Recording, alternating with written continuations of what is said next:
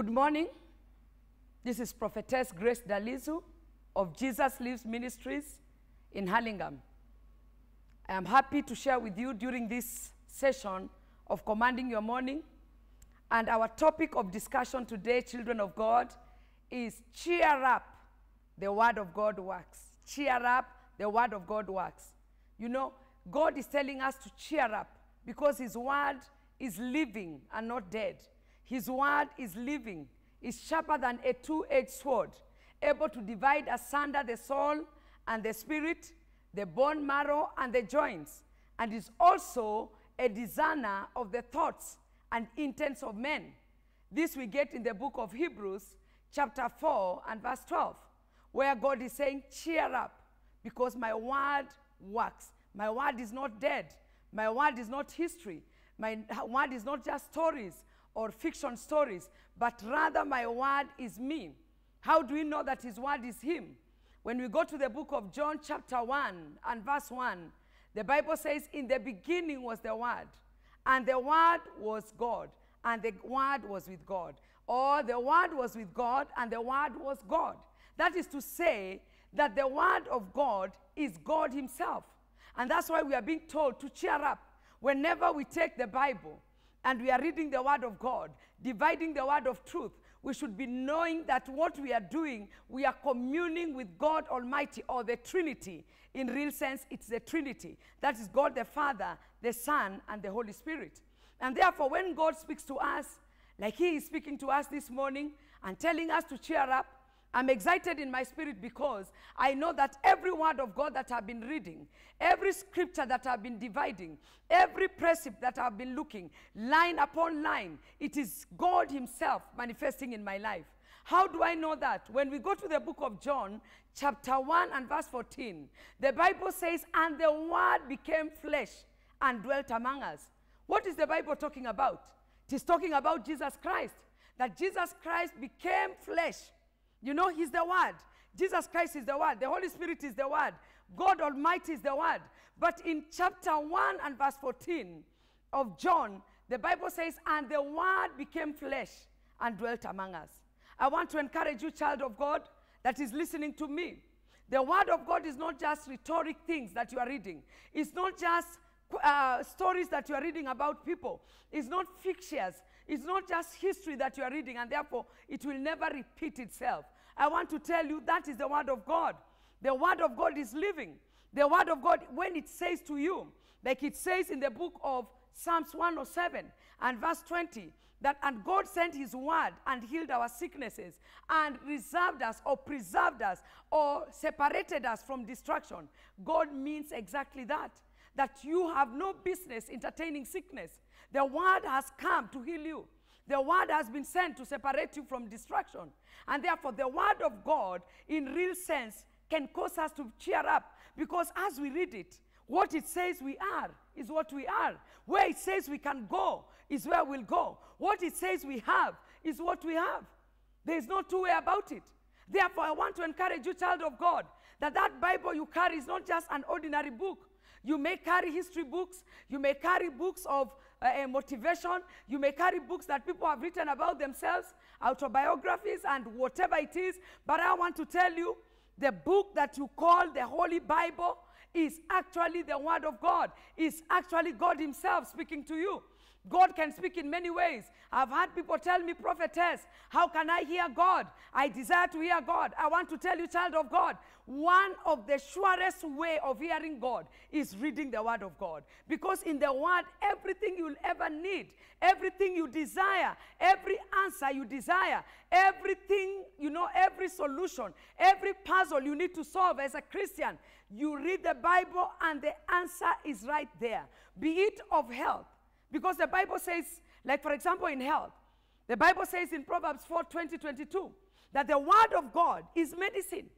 In other words, marpe, that is the Greek rendering, marpe means the word of God is medicine. You know, it is medicine. Marpe means it is medicine. And it's able to heal you. As you read the word of God, it doesn't matter what sickness was in your body. Whatever it is, if you do it with faith, you will begin to realize that you are improving day by day. You are getting energized day by day. You are being increased in areas of your business. You are being increased in areas of your finances. You are being increased in areas of knowledge. You know, the Word of God is able to do all things. It can do anything because it is God Himself. And there is nothing that is impossible with our daddy. And therefore, if He has manifested in the Word, then as we take the Word of God, we should know we are drinking milk, we are eating bread that is able to build us up and to give us in an inheritance among the saints. Glory to God. And therefore, you should never read it like logos. You know, when we say the Word of God can be read as logos, is reading like stories. You know, you just read and read through. But every time you take the Bible to read the Word of God, let revelation come upon you. Let epignosis come upon you. May you be able to understand what you are reading. And may the Holy Ghost begin to teach you. Because one of the works of the Holy Ghost is to teach us all things. And therefore, I encourage you, child of God, just like I've told you that the topic of our message today is cheer up. The Word of God liveth, the Word of God works, the Word of God is able to manifest in your life.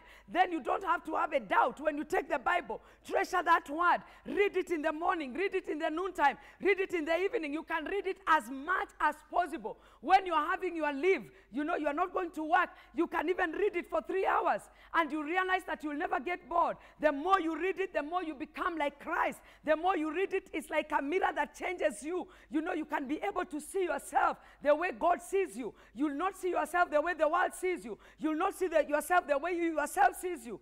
But you will be able to see yourself in the mirror of God because the Word of God of necessity must change your life. When you want to look at the area of prosperity, the Word of God has every solution about it. The Bible says that as long as the earth remains, that is in Genesis 8 and verse 22, that as long as the earth remains, seed time and harvest shall never cease. So, one thing that you know as a child of God, that God is able to give bread to the, to the eater and seed to the sower. The reason He gives seed to the sower is so that tomorrow you are able to have a harvest. Your harvest is assured as long as you are able to sow a seed. This is also found in the Word of God. You'll find that as you sow the seed, God will continue to bless you. You'll begin to harvest. You'll begin to harvest. You may sow seed of your time in church, and God will ensure that your life is long because you sow time, you will receive time. If you sow seeds of support, of work of God, maybe even children home, even maybe your friend, maybe a child is going through an issue and they don't have school fees, and you sow a seed and say, you know what, I'm paying school fees for my friend's child or for my neighbor's child or for somebody even you don't know, you'll find that you are sowing a seed whereby your children and your children's children and their children up to the fourth generation will never lack school fees. What am I saying to you? The word of God is able to touch on every area. When you go to the book of th- third epistle of John and verse 2, it says, Beloved, I desire above all things that you prosper in every area, be in good health, even as your heart is at peace. So the area of health is handled in the Word of God. The area of your peace is handled in the Word of God. The area of prosperity is handled in the Word of God. Sometimes you may be losing hope and wondering, what do I do? You have more worry than anything else. The Bible says you don't need to worry. In everything, make your request be known to God through prayer and supplication. And the peace of God that surpasses every human understanding shall become your portion. That again is in the Word of God. You don't need to fret. You don't need to worry.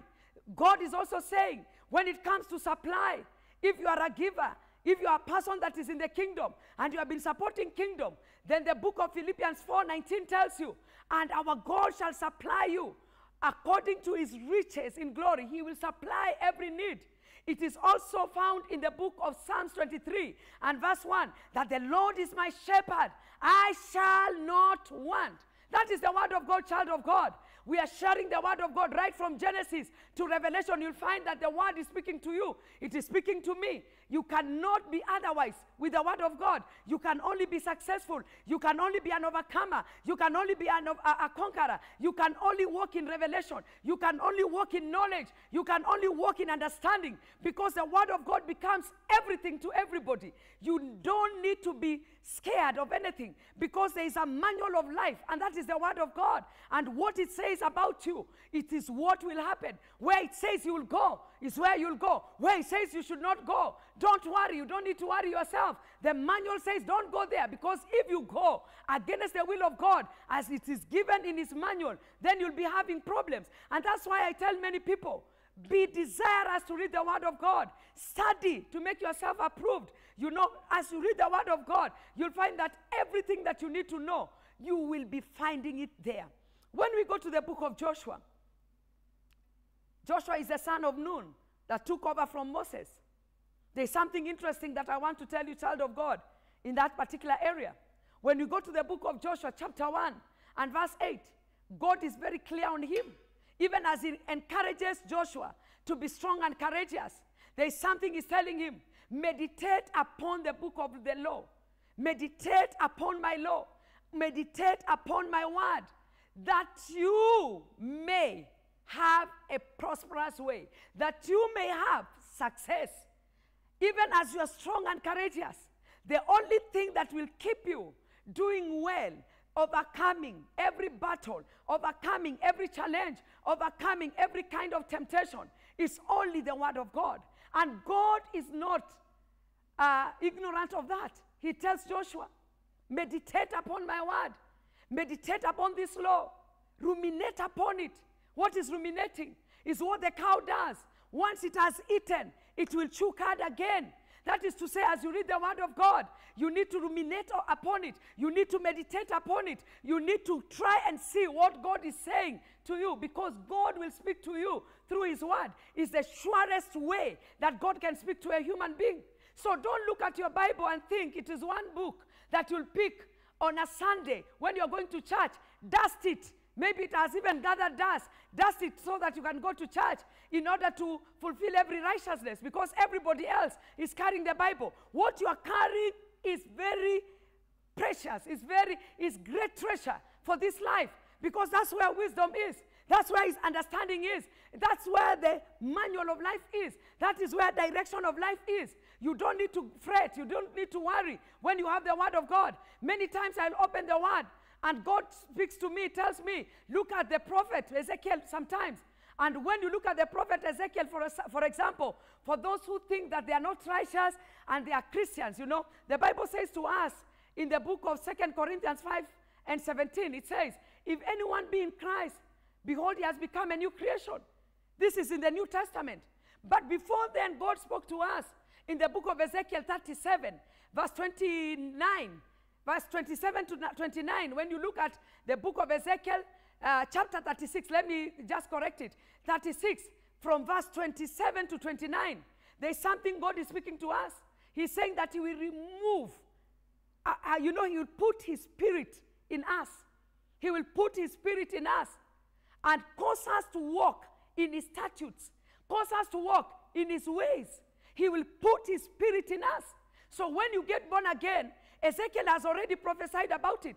That when you get born again, your spirit is replaced with the spirit of, the, of God, which is the Holy Spirit. Because the Bible says, He that is in us is greater than He that is in the world. That is to say, the Holy Ghost that resides in us is all things to us.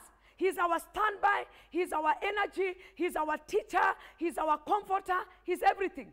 But this was prophesied about in the Word of God in Ezekiel 36, verse 27 to 29. Why do I say that? Because God is telling us, children of God, that I will put my spirit in you. And once I put my spirit in you, you will be able to walk in my statutes without struggle. Salvation at ease. Salvation is not a struggle.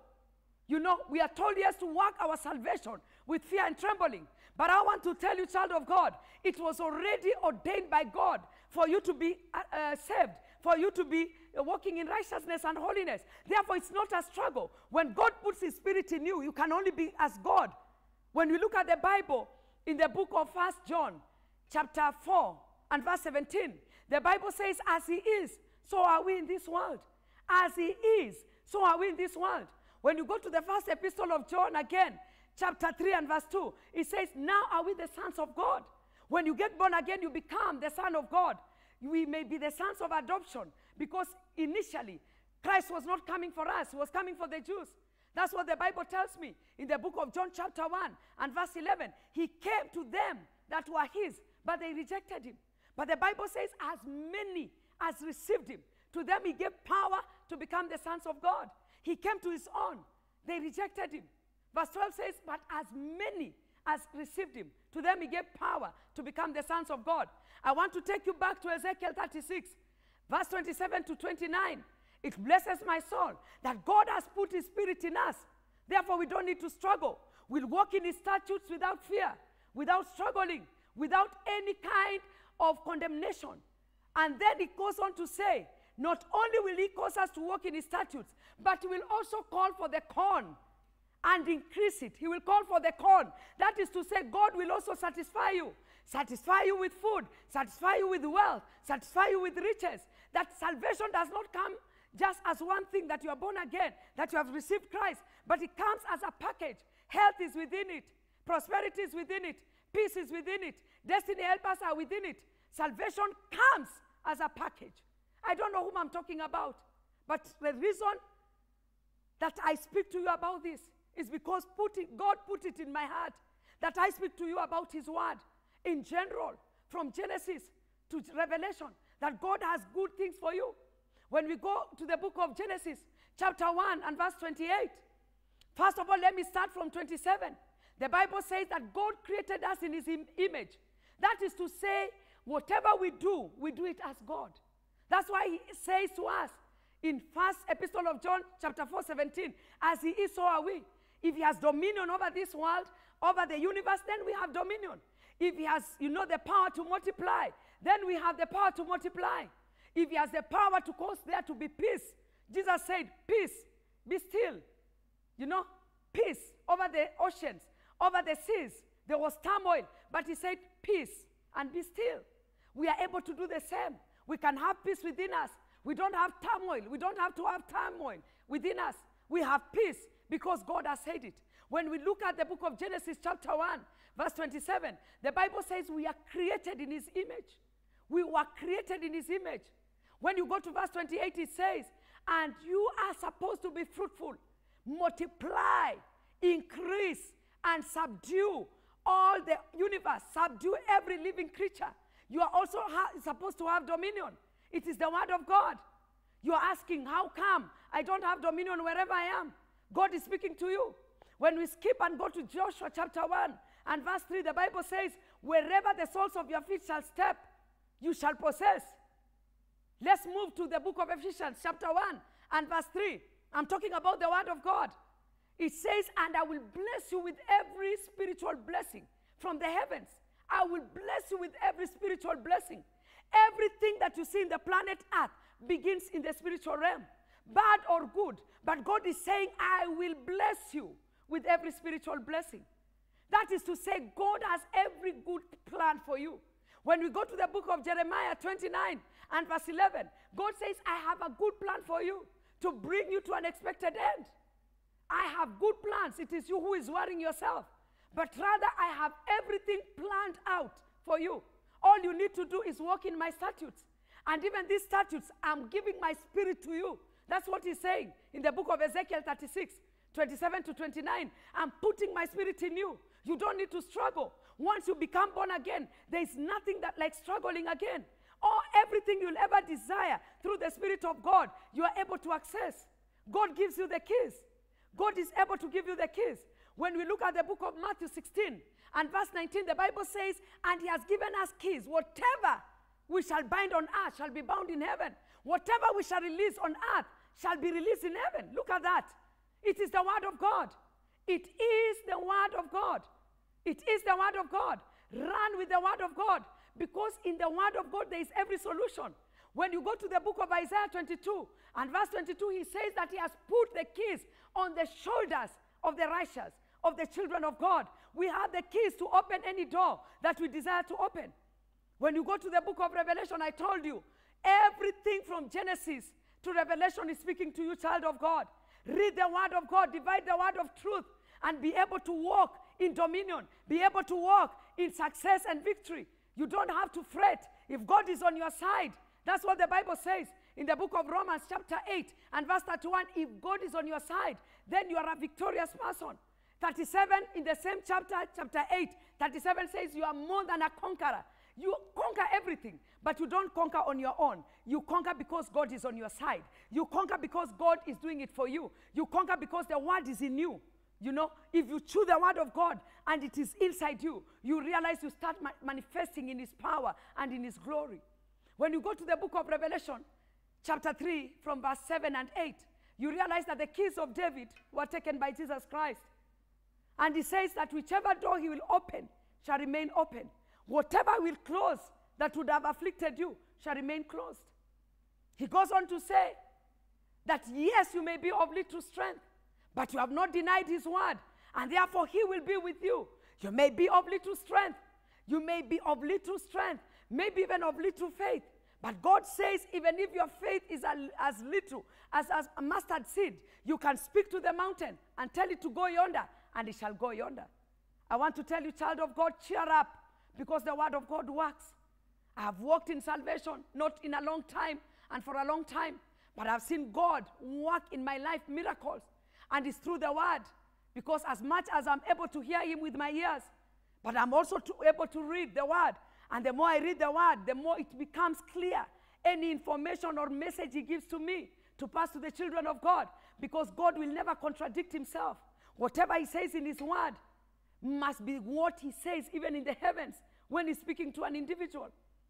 When you look at the book of Isaiah 55, as I wind up, and verse 11, the Bible says that his word that proceeds from his mouth shall never return to him without ensuring what it was sent to do, it has done.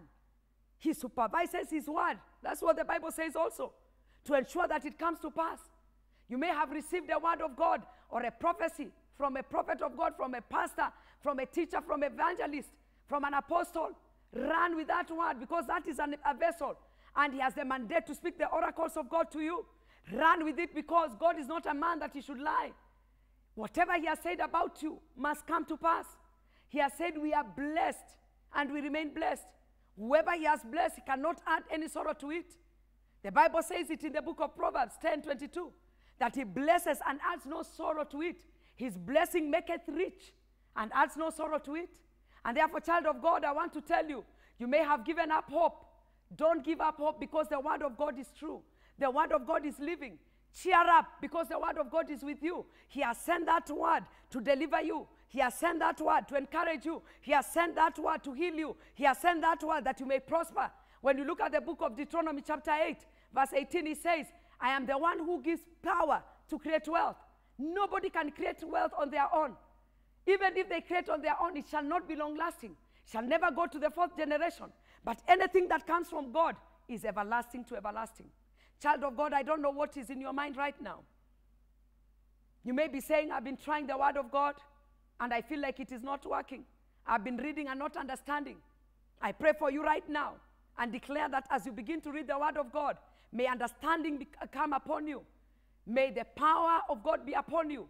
May you divide the word of truth and may the word become flesh in your life that whatever he has said, let it manifest. I also want to pray with those who are not born again.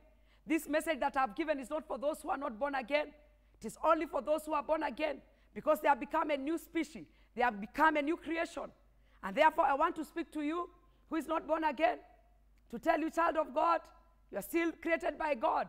And because God desires your spirit and desires you as a person, then you must get born again to walk in this revelation of the Word of God. And therefore, I will pray with you also. If you want to get born again, pray this prayer after me. Say, Lord Jesus, forgive my sins because I'm a sinner. Write my name in the book of life. With my heart, I believe unto righteousness. With my mouth, I make confession unto your Lordship over my life. Child of God, if you have just prayed that prayer, you are born again. You don't need to fret, you don't need to be scared. Go to a church that is word teaching, a, a church that will grow you, ground you in the word of God, that will cause you to walk in the statutes of God. And once they do that, you'll be able also to win others and bring them to the kingdom. Because once God says, as He is, so are we, then it means if He's the Word, we are also the Word. We must be living epistles of God. Wherever we go, let's be a testimony of the goodness of God. I also want to pray to ask you. You can still come to Jesus Lives Church Ministries. We are based in Hurlingham, behind Hurlingham Plaza, and we'll be glad to receive you. I will be glad to, be, to receive you and ground you in the Word, teach you the things of God, the eternal verities, and be able you that you may be able also to be a voice to nations regarding the Word of God. I also want to pray with somebody who is saying, Pastor, yes, I'm born again, but I've been discouraged. I've seen like salvation is not working. I feel like going back to Egypt, where there is watermelon, where there are garlics, and the likes. I want to tell you there is nothing as beautiful as salvation. Salvation comes as a package, it comes with long life, it comes with wealth, it comes with peace, it comes with prosperity. And at the end of the time, you'll be able to see your Maker and eternally rejoice because everything on the world or in the world will pass away, but the heavens will never pass away. Your life will never pass away as long as you are born again. I want just to encourage you, child of God, do not backslide. If you are about to backslide or you are backslidden, pray this prayer Lord Jesus, restore me to your goodness, restore me to the kingdom, that I may belong to the commonwealth of Israel, that I will no longer be an alien to the covenant of God. If you have just prayed that prayer, if you are backsliding, God has restored you. If you had already backslidden, don't worry. Seven times will the righteous fall, but seven times shall he be risen again. God bless you, and I pray that I will meet you again in this program of Commanding the Morning. Keep it KTN and keep commanding your morning that you may see the glory of God in your life. God bless you. Bye bye.